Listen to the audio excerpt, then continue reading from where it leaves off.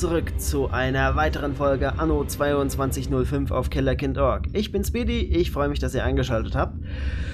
Ja, wir befinden uns auf der Sektorenkarte, denn ähm, ich habe mir folgendes überlegt. Unser Neustart, in Gänsefüßchen Neustart, äh, in der Viridischen Bucht hat uns relativ gut geholfen, eine Bauform zu finden, die uns nicht allzu sehr auf den Zeiger geht. Ähm, entsprechend werde ich das wahrscheinlich dann hier in, der Wallbruck, in dem Wallbruckbecken noch umbauen in nächster Zeit. Vielleicht auch in der Folge. Schauen wir mal. Oder vielleicht in einem Livestream. Mal schauen. Ähm, was ich jetzt vorhabe, ist, dass wir eventuell den Kin Guide, äh, das Kin Guide Protektorat übernehmen. Das gehört im Moment Ibarra Foxcom, die wir ja aus der gemäßigten Zone Wallbruckbecken kennen, aber äh, nicht mehr lange. Was Wir können es uns leisten. Und ich würde sagen, okay, es hat nur 41.000 Hektar. Das dürfte also interessant werden. Aber ich glaube wirklich, wir müssen mal ein bisschen Abstand von, der anderen, von dem anderen Sektoren finden. Wir haben auch einiges jetzt durch den anderen Sektor gelernt. Definitiv. Das können wir jetzt direkt schon mit benutzen, ohne dass wir alle 10 Folgen alles umbauen müssen. Aber äh, ja, es wird, glaube ich, fällig. Also, meine Kellerkind Incorporated übernimmt sämtliche Sektoren.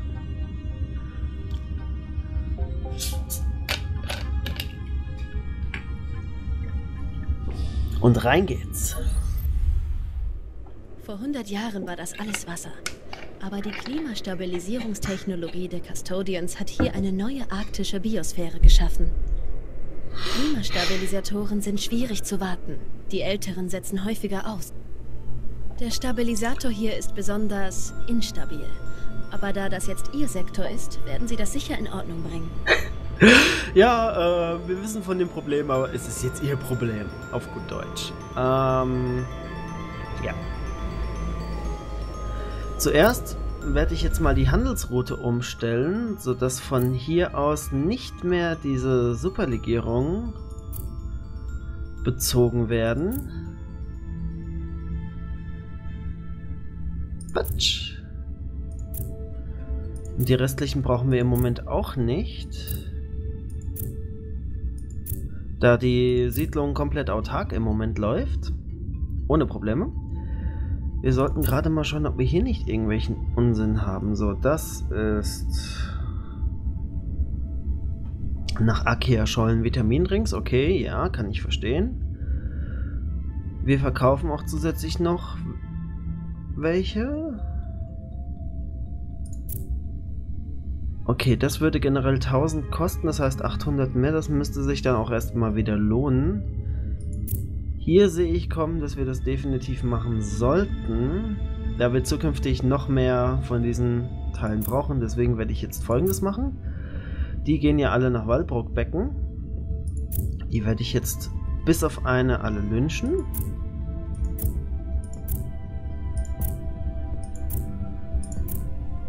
So, Sekunde. Und dann trage ich hier jetzt den Wert 80 ein.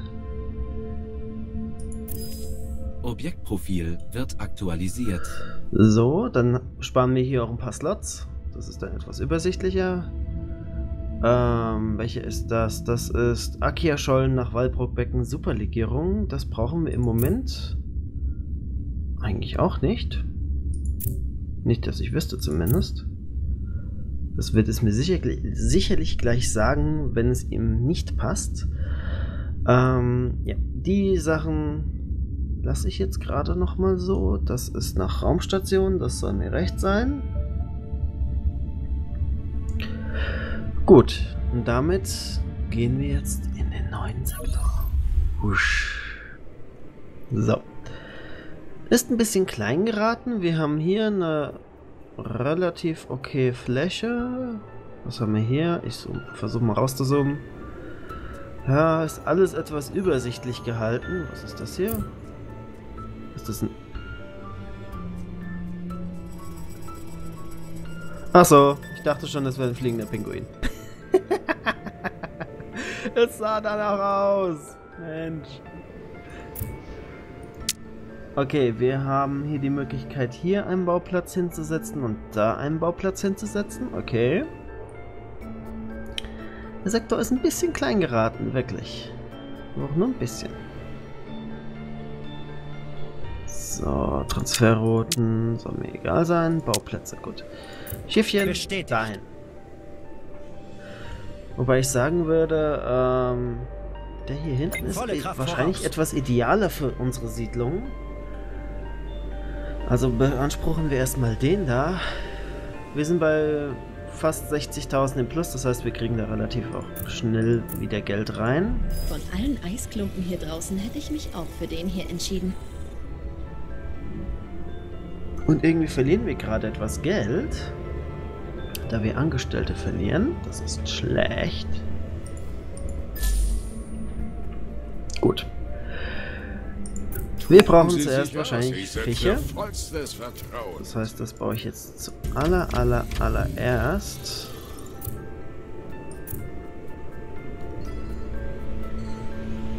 Bisschen Platz lassen.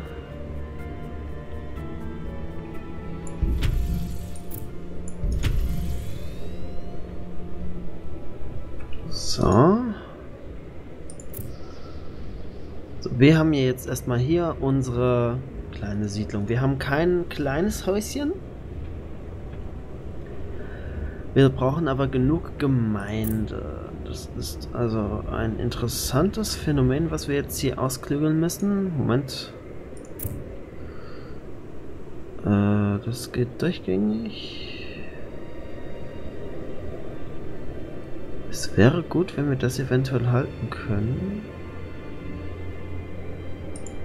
Das erstmal so hin. Das hier muss weg. Ich weiß, ich weiß. So. Ich will nur gerade schon mal die erste Straße planen, dass wir hier alles nutzen können. So. So, und für den Moment schiebe ich euch beide mal dahin.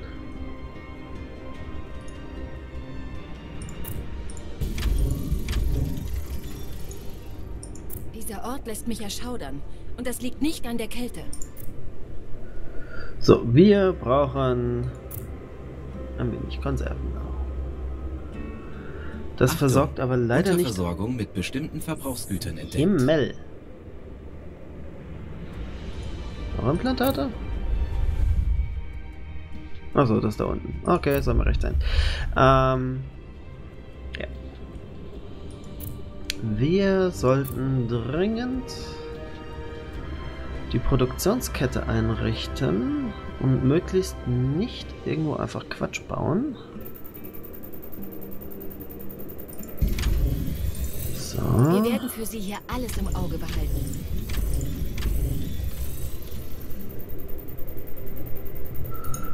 So, das würde jetzt theoretisch Fisch produzieren. Wir müssten aber noch einen weiteren Bauplatz dafür nutzen. Den hier hinten. Und eins, und zwei, und drei, und vier.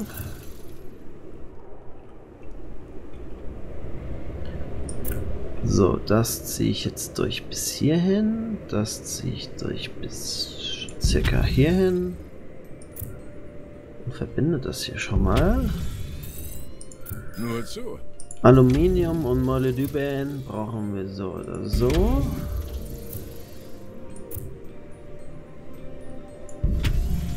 Für den Moment schließe ich das jetzt einfach mal irgendwelche Schwachsinnsmöglichkeit an. Wir brauchen natürlich auch Transportzentren, für die wir Metallscham brauchen, den wir ganz einfach produzieren können. Warentransport verzögert sich.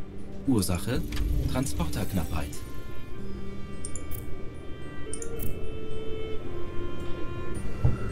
So. Warnung. Einstellen weitere Arbeitskräfte empfohlen. Ja, Mann. Ich würde ja gern, wenn ich könnte. Wir können gerade mal schauen, ob wir nicht eine Handelsroute Von äh, Metallschaum. Von hier nach hier. Ah, why not? Ah, bestätigen. Verarbeite Informationen. Warnung. So, damit kann ich bauen. zu hoch. Gegenmaßnahmen empfohlen. Jo, bin doch schon dabei. Methaneis. Methaneis braucht einfach nur einen Kistenbauplatz, das ist gut. Dann können wir direkt schon die Stromversorgung nehmen. Web, web, web, web. Web. Das schließen wir einfach mal hier an. Und mit dem Methaneis können wir dann hier direkt das Kraftwerk bauen.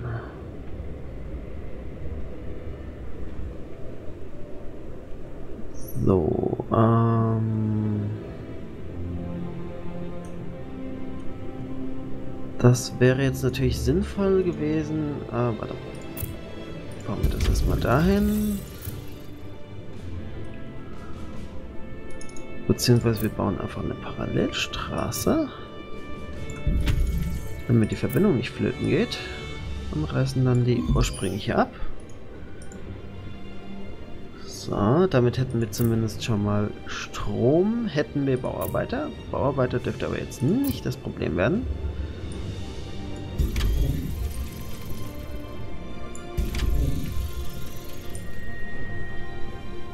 So.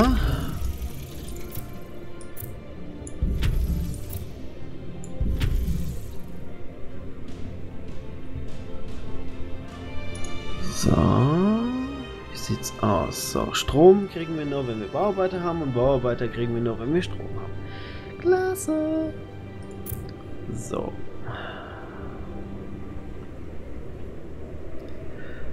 Dann Setzen wir das doch gerade mal hier hin. Hier können wir noch drei Hütten hinsetzen.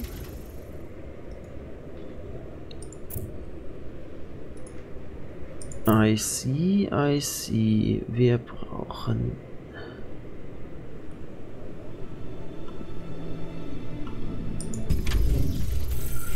Logistik.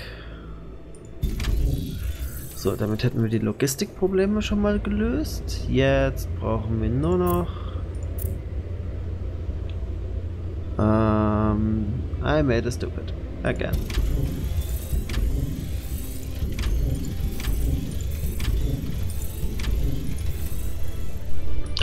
Ich muss die Straße nochmal verschieben.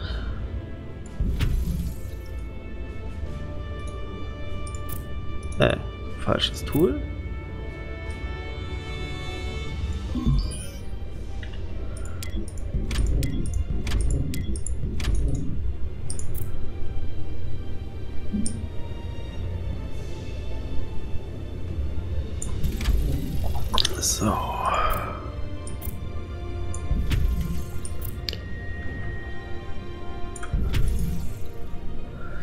Dann können wir das theoretisch hier rein verschieben. Genau. Und wir brauchen noch ein paar mehr Leute.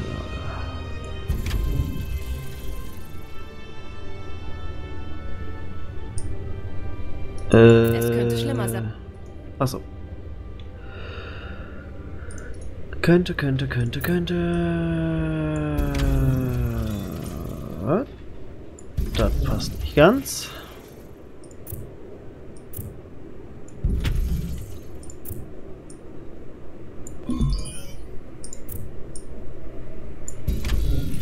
So. Wir sind unter 50.000. Das geht hier in dieser verdammten Arktis viel, viel, viel zu schnell. So, und die brauchen auch mehr Leute. Da sind wir gerade dabei. Was ist das dann hier für ein Sektorenprojekt? Hey, dieses Gebiet dürfen nur Custodians betreten. Ich bin nicht befugt. Ach, vergiss die blöden Regeln. Wir haben den riesen Ärger. Hast du kurz Zeit? Schön. Ich sollte dir das eigentlich nicht sagen, aber ich bin diese einsamer Wolfhaltung der Arctic Custodians echt leid. Fakt ist, dieser Klimastabilisator spinnt. Ich bin zwar kein Experte, aber für die Überwachung dieses Dings zuständig. Es gibt momentan sowieso nicht viel zu handeln. Und so kaputt wie er ist, dachte ich, wir rufen ein Unternehmen zur Hilfe. Solange niemand Dr. Eisblock davon erzählt.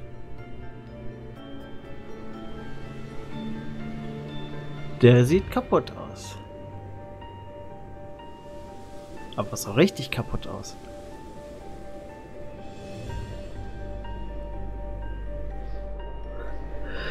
Finden Sie meteorologische Einheit an Land. Das dürfte jetzt einfach sein. Wenn man mal von den Geschenken absieht, die hier rumliegen. Ja, das ist... Ich nehme immer noch um die Weihnachtszeit rum auf. Dadurch sind alle diese Geschenke äh, im Prinzip... Beziehungsweise alle die Items, die hier rumliegen, sehen aus wie Geschenke. Das finde ich einen cleveren Touch. Ah, das sind diese Luftballons. Ah, dann weiß ich jetzt, wonach ich suchen muss. Sehr schön, sehr schön. Ich will wieder auf die 50.000 kommen. Mann. Luftballon, Luftballon, Luftballon, Luftballon. Luftballon. Einer noch? Einer noch. Got it. Genau so macht man das. So, weiter. Ich weiß nicht, ob ich das so richtig verstanden habe. Vielleicht kriegst du es ja raus. Wärmen Sie WissenschaftlerInnen. Hm, hm, war ja klar. Gut, ähm, denen mangelt es in erster Linie an Konserven. Das soll nicht das Problem sein.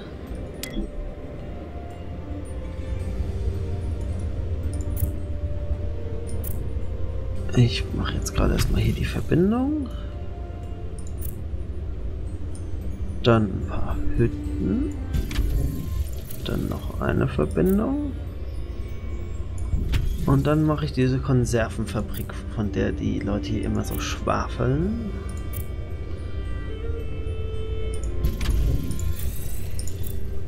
Und eine, mene, mu und raus bist du. Das sollte reichen. Ja, Fische haben wir noch genug. Wir produzieren zu wenig von dem Kram hier. Jetzt nicht mehr. Aber auch ähm, zu wenig Neuroimplantate. Oh nö, die sind so sackteuer. Äh, Neuro, Neuro, Neuro, Neuro, da. Molybden. Wie viele Molybden haben wir dann? Wir haben sechs. Das heißt, wir können die Grundfabrik bauen.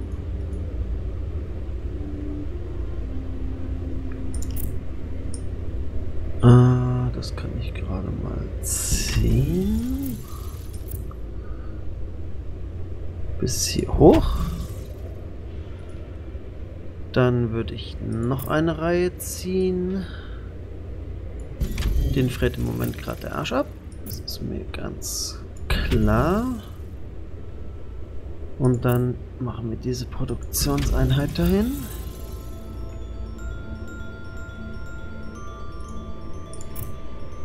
Und ziehen die Straße noch ein Ticken weiter.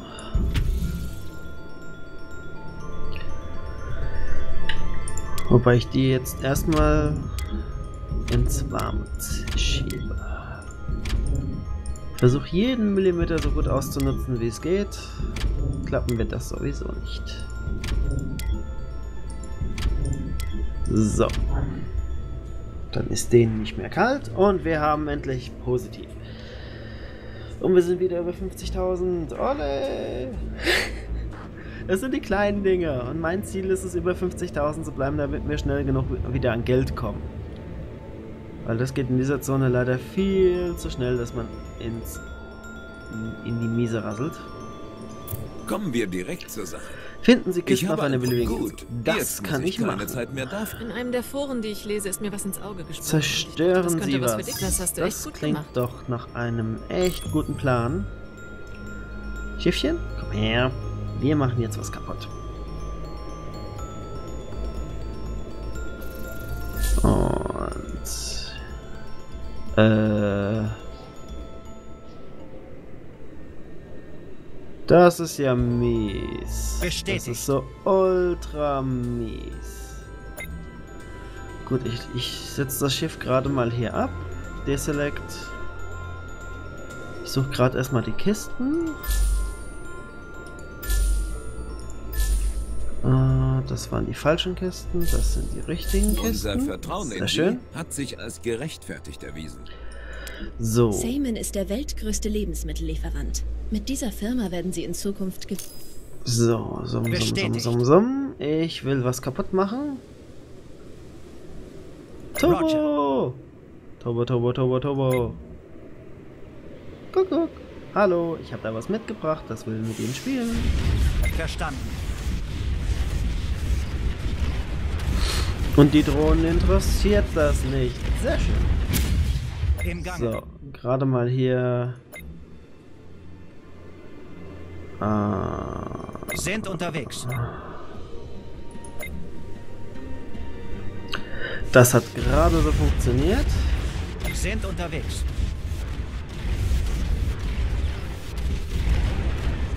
So. Jetzt muss ich nur noch irgendwie heil hier wieder rauskommen. Das ist taktisch eine kluge Entscheidung. Verstanden. Fahr doch mal einmal nicht so besoffen, du blödes Schiff.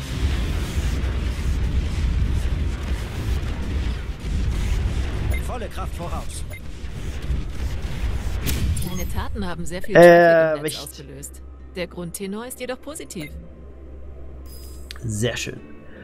Das hat funktioniert und ich würde sagen, damit verabschiede ich mich in dieser Folge von euch. Danke fürs Einschalten. Bis zur nächsten Folge. Da werden wir weiter erstmal die Arktis etwas ausbauen. Also die neue Arktis, die wir hier haben. Schauen wir mal, wie das so für uns ausgeht. Und ja, vielleicht geht's in der Folge darauf auf den Mond. Mal schauen. Je nachdem, wie wir hier mit unseren Bilanzen aussehen. Im Moment halten wir sie ja in irgendeiner Form, was mich beunruhigt, da das meistens nicht lange anhält.